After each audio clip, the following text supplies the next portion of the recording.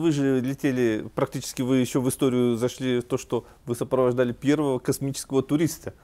Человек, который заплатил, э, Дэнни, э, Деннис Тита заплатил 20 миллионов долларов. Это не- 20 millions долларов. Да.